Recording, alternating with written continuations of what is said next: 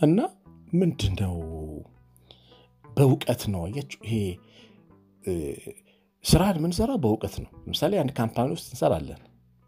ሰዎች ደግሞ ከስራችን እንመራቸዋለን። እነዛን ሰዎች በእውቀታችን ብቻ ልንመራቸው የሚገባው በመንፈሳዊነታችን ጭምር። እንደ መነጀር፣ እንደ ስራ ኃላፊ ልጆቹን ሰራተኞቻችንን እናስተማራለን። እንደ መንፈሳዊ ሰው ደግሞ እያዘንን እናስተማራለን። እያችሁ ትዳር በእውቀት ብቻ አይኖርም፣ በመንፈሳዊነት ነው የሚመራው። ያነበብናቸው ብዙ መጽሐፍቶች ይኖራሉ በትዳር ዙሪያ። ያንን ተግባራዊ ለማድረግ እንሞክራለን። ግን የበለጠ መንፈሳዊነት ግን ይፈልጋል። እግዚአብሔር ፊት መሆን፣ ታማኝ መሆን ይፈልጋል። ቤተ ክርስቲያን በእውቀት ብቻ አይመራም፣ በመንፈሳዊነት ነው የሚመራው። የቤተ ክርስቲያንም አንዳንድ መሪዎች በእውቀት ብቻ የሚመሩ ናሉ። በርኅራኄ የማያውቁ ጭካኔ የሞላባቸው ፈጽሞ ማዘን የማያውቁ አንድን ሰራተኛ ሲያባርሩ ከነ ልጆቹ የሚያስርቡ ግን በጣም ከፍ ያለ እውቀት ያላቸው እውቀት ነው፣ ትምህርት ነው። ዘመናዊም ትምህርት ይሁን የቀለም የአብነትም ትምህርት ይሁን ብቻ በዛ ትምህርት ከፍ ብለው ግን መንፈሳዊነት የላቸውም። ርኅራኄ የሚባል ነገር የለም። አያችሁ፣ በእውቀት ስንመራው ኑሮን ርኅራኄ ይጎድለናል፣ ማዘን ይጎድለናል። እና በምንሄድበት ቦታ ትንንሽ ስራ ፈጥረን የዛ ስራ ኃላፊዎች እንሆናለን፣ ቀጣሪዎች እንሆናለን። እንደ ስራ ኃላፊ ቤታችንን፣ ንግዳችንን በምንመራበት ዓለማዊ ጥበብ እንመራለን። ደግሞ መንፈሳዊነት ደግሞ እነዛን ሰዎች በርኅራኄ በተሻለ እንደ ቤተሰብ እንድናያቸው ያደርገናል። እና መንፈሳዊነት ይወላችሁ እኛ ከሰው ጋር የምንግባባበት ጸጋ ነው።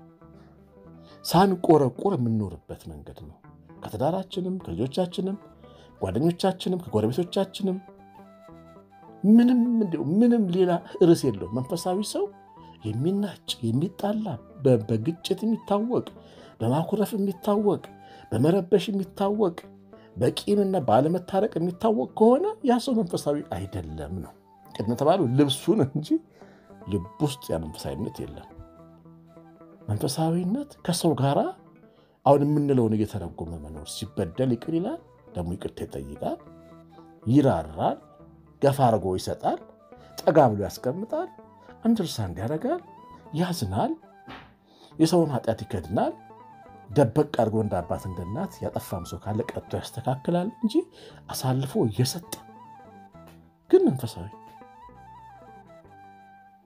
መንፈሳዊ እንደ ቅድም እንዳልኳችሁ በባዶ እግሩ ነው የሚሄደው ቤተክርስቲያን ውስጥ መልአክ ነው የሚመስለው ቤተክርስቲያን ውስጥ የስራ ቦታ ውስጥ ግን ቁስል፣ እርግማን።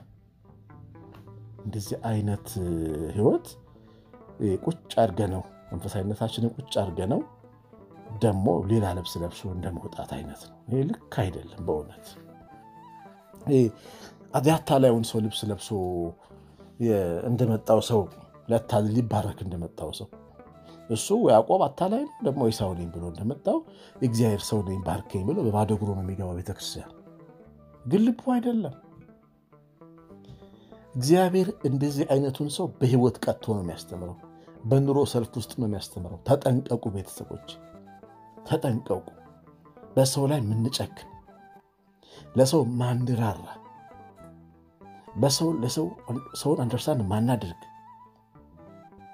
የሰውን ድካም ማንሸከም ሰዎች ተጠንቀቁ፣ ተጠንቀቁ ቤተሰቦች ተጠንቀቁ።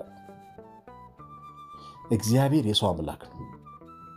ጳውሎስ ሳውል በነበረ ጊዜ በደማስቆ ያሉ ክርስቲያኖችን ሊገደልና ሊያሳስር ሲሮጥ ለምንድን ነው የምታሳድደኝ ያለው ጌታ ኢየሱስ።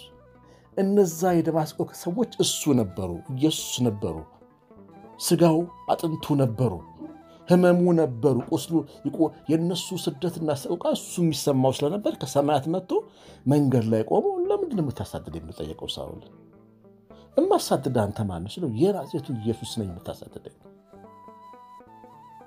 አሁን እንደነገርኳችሁ ሰውን የምንነካ ሰዎች የናዝሬቱ ኢየሱስን እየወጋ ነው እንደሆነ ወቁ። በጦር ለሰው ማዘን ነው መንፈሳዊነት። ይኸውላችሁ ከሰው ጋር መኖር ነው አንደኛ መንፈሳዊነት ጥቅም፣ ቅድም እንዳልኳችሁ። ሁለተኛ ከእግዚአብሔር ጋር ተግባብቶ መኖር ነው። አንዳንድ ሰው ከእግዚአብሔር ጋር መኖር ይፈልጋል፣ ከሰው ጋር ግን እሳትና ጭድ። ሰው የማይወዱ የእግዚአብሔር ሰዎች በጣም ብዙ ናቸው ምድራችን። ሰው የማይወዱ ፊታቸው የማይፈታ ቤታቸው የማይከፈት ሰጥተው አብልተው የማያውቁ የሚቀበሉ እንጂ የማይሰጡ የእግዚአብሔር ሰዎች ለሰው ደንታ የሌላቸው ለሰው ሐዘን የማይደርሱ የእግዚአብሔር ሰዎች ምናልባት ምርጥ ሰባኪዎች፣ ምርጥ አገልጋዮች ወይም ምርጥ እንግዳ ተቀባይ አስመሳዮች፣ ግን በውስጣቸው ግን ሰው ጠል ሰዎች አሉ። መንፈሳዊነት ለነሱ ከእግዚአብሔር ጋር መኖር ብቻ ነው። ለመጠቀም እሱ መንግስተ ሰማያት እንዲያስገባቸው እንደዚህ አድርገው የሚያስቡ መንፈሳዊ ሰዎች አሉ። መንፈሳዊነት ማለት ማህበራዊ ብቻ ሰው ጋር ብቻ ደግሞ መኖር የሚመስላቸው ደግሞ ሰዎች አሉ። ከእግዚአብሔር ጋር ህብረት የላቸውም፣ አይጸልዩም፣ ቤተክርስቲያን ይሄ ትምህርቱን አይሰሙም፣ አምልኮ የላቸውም። እንደ ማርታ እንጂ የበሰለ እያቀረቡ ብቻ የሚኖሩ ሰው ተኮር መንፈሳዊነት ያላቸው ሰዎች አሉ። መንፈሳዊነት ግን ሚዛናዊ ነው። ከእግዚአብሔርም ጋር በሰላም ከሰውም ጋር በሰላም መኖር ነው። አንዱ መዛባት የለበትም። አንዱ መዛባት እውነቴን እንምላችሁ እስቲ ወረቀት ሀምሳ ስልሳ ወረቀት በትናችሁ የስራ ኃላፊዎች የሆናችሁ ሰዎች ጠረጴዛ ላይ አስቀምጣችሁ ስማችሁን ሳትጽፉ ስለ እኔ ያላችሁን እውነተኛ አስተያየት ጻፉልኝ ብላችሁ ስጧቸው። ውስጥ ጆሮ ለባለቤቱ ባዳ ነው። ምን አይነት ሰዎች እንደሆነ ያኔ ይነግሩናል። ሰዎች ወይ ጨካኞች ይለናል፣ ወይ አማተራራ ይሉናል፣ ወይ ደግነ ይሉናል። እና ሰው የእግዚአብሔር ሰው ሆነ መንፈሳዊ ሰው ከሆነ በስራ ኃላፊነቱም ቢሆን ከእውቀቱ ጋር መንፈሳዊነቱን ጭምር ያግዘዋል። በየትኛውም በሄደበት ቦታ ቤተክርስቲያንም ሲመራ መንፈሳዊነቱ ያግዘዋል እና የመንፈሳዊነት ጉድለት ባዶ አድርጎታል ይህንን ዓለማችንን ማለት ነው። መንገዱን የስራ ቦታ ብትሄዱ ሰው በሰው ላይ እምነት የለውም እምነት የለውም። ምንድን ነው በኮሚኒዝም ፍልስፍና ኮሚኒስቶች እግዚአብሔር ቁሳዊ ስላልሆነ መንፈሳዊ ሀሳባዊ ነገር ስለሆነ የለም እግዚአብሔር ብለው ይሉ ነበር። ታውቃላችሁ፣ በቁሳዊ ዓለም ነበር የሚያምኑት እና እነዛ ሰዎች እግዚአብሔር እንዳለ ለማሳየት በኮሚኒዝም ስርዓት ብዙ ቅዱሳን ተነስተዋል፣ ተጋድለዋል እና እግዚአብሔርን በሕይወታቸው አሳይተው ይሞተዋል።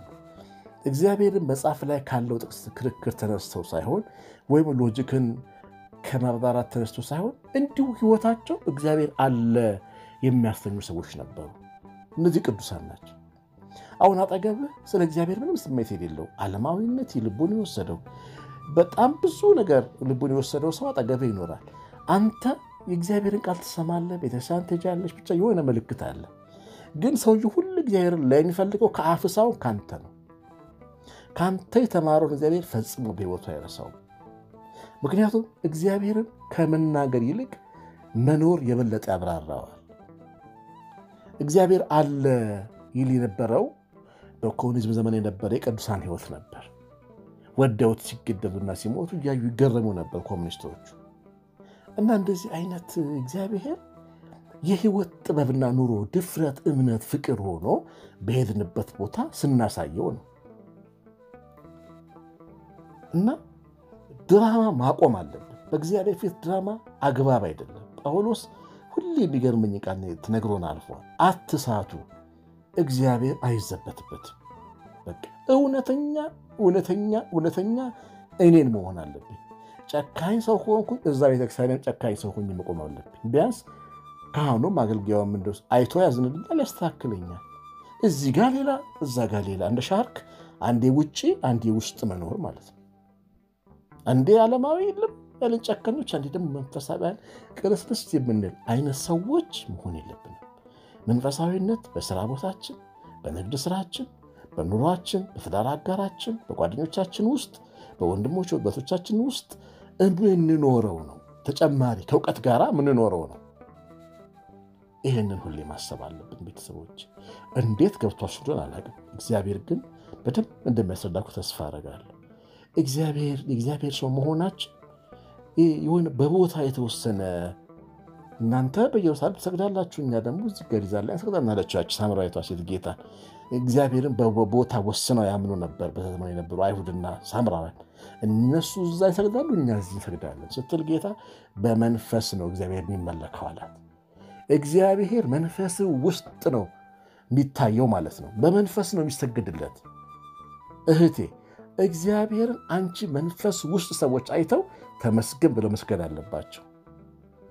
አንተ መንፈስ ውስጥ አይተው አብርሃም በተሸከመው በእግዚአብሔር ምክንያት በዙሪያው የነበሩ ነገስታት ሁሉ ከአብርሃም ጋር ሰላም ያደርጉ ነበር። ዮሴፍ መንፈስ ውስጥ እግዚአብሔር ስለነበረ ዮሴፍ የገባበት ቤት ሁሉ ይባረክ ነበር። አያችሁ፣ በመንፈስ እግዚአብሔር ይሰገድለት ነበር። በዮሴፍ በቅዱሳን መንፈስ ውስጥ እግዚአብሔር ይታይ ነበረ። አሁን እኮ የወላችሁ ቤተክርስቲያን ምሰሶ ላይ ነው የሚታየው፣ ጉልላት ላይ መቼም እሱ ያቅተንም ቆንጆ ደሳን ሰርተን ዶሙን አሳምረን ወርቅ ቀለም ቀብተን ሰው ሲያልፍ እግዚአብሔር ትዝ ይለዋል። ያን ቤተክርስቲያን ሲያይ ዝቅ ብሎ ሰውን የማየቱ እግዚአብሔር ትዝ ሊለው ይገባል። በእውነት የስራ ኃላፊ ሆኖ ሲራራ መታየት፣ ሲታደግ መታየት ያስፈልጋል። ከስራ ሲያባርር አረፈርክ ብሎ ሲቀጣ፣ ልጆች ያላትን እናት ደመወዟን ሲቆርጥ የምታዩት ክርስቲያን እንዴት ነው እሱ የእግዚአብሔር ሰው ተብሎ ሊጠራ የሚችለው?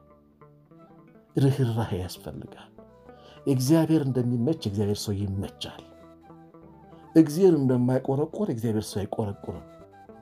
እግዚአብሔር ለክፉ ለደጉ ፀሐይ እንደሚወጣ የእግዚአብሔር ሰው ለክፉ ለደጉም ያዝናል። የሚታወቀው በማዘኑ ነው።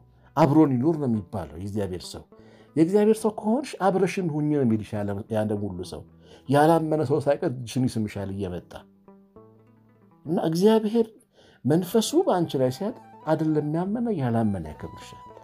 በዚህ መንፈስ ልክ ነው ነው መንፈሳዊነት ማለት ሁሉም ቦታ የትም ቦታ የሚታይ እንጂ በተወሰነ ቦታ እንደ ሳምራውያንና እንደ አይሁድ በተራሮች ላይ ብቻ ተቀምጦ የተወሰነ ነው ብሎ ማመን ምን ያህል ስህተት እንደሆነ የተገነዘብኩበት ቀን ነው። እግዚአብሔር ስላስተማረ ስሙ ብሩክ ይሁን። ትልቅ ነገር እንደተማራችሁ ተስፋ አደርጋለሁ። ጸጋው ይደግፋችሁ። እግዚአብሔር ቸርነት ይናታችን